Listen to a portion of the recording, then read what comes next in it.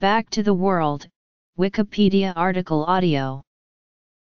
Back to the World is a 1973 studio album by Curtis Mayfield. It peaked at number 16 on the Billboard 200 chart, as well as number 1 on the top R&B slash hip hop albums chart. All tracks written by Curtis Mayfield. Track listing Personnel Credits adapted from liner notes. Charts.